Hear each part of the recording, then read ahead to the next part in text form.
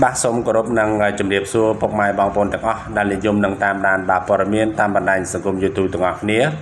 បាទគណៈពេលដែលខ្ញុំលើកយកអត្ថបទព័ត៌មានបាទស្ដីអំពីបាទតារា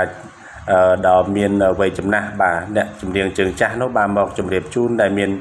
ចំណងជើងថាជួយ share លើកទឹកចិត្តបងប្រុសផងលោកសែនសង្វាតបកស្រាយបទចម្រៀងតាមឡាយការលើកដំបងសំឡេងនៅតែពីរោះ បាទមុននឹងចូលទស្សនានិងស្ដាប់ព័ត៌មានសូមប្រិមិត្តពុកម៉ែបងប្អូនទាំងអស់កុំភ្លេចបាទជួយ like subscribe និង share និងសញ្ញារូបបណ្ដឹងដើម្បីទទួលបានព័ត៌មានថ្មីថ្មីជារៀងរាល់ថ្ងៃបាទបងប្អូនពិតជានៅចាំលោកសែនសង្វាតដែលជាតារាប្រុសល្បីឈ្មោះកាលពីឆ្នាំ2001ដែលរូបលោកបានបាត់មុខជាយូរណាស់មកហើយដោយសារតែជំងឺជាច្រើនមុខពេលនេះលោកបានចូលច្រៀងវិញ ក្រោយពីលោកបានធូរស្បើយពីជំងឺ ដើម្បីរកលុយចិញ្ចឹមកូន និងបងស្រីព្រមទាំងទុកទិញថ្នាំដង្កូវផងដែរនៅក្នុងភាពស្គមស្គាំងផងនោះ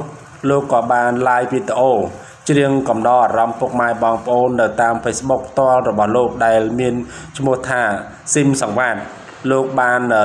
រៀបចំពីធ្វើការបកស្រាយជាច្រើនបទ សម្រាប់កំដរអារម្មណ៍និង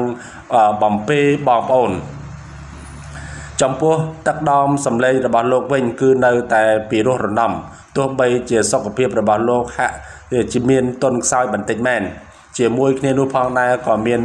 បងប្អូនជាច្រើនបានធ្វើការចែករំលែកតតគ្នានិងមានបងប្អូនជាច្រើនបានសរសើរពីទឹកដមសម្លេងរបស់លោកថានៅតែបរោះរំដំដដែល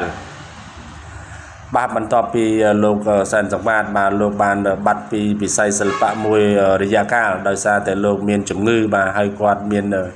គេហៅថាវ័យចំណាស់បន្តិចមែនប៉ុន្តែសម្លេងរបស់លោកបាននៅតែពីរោះរំដំដដែលបាទ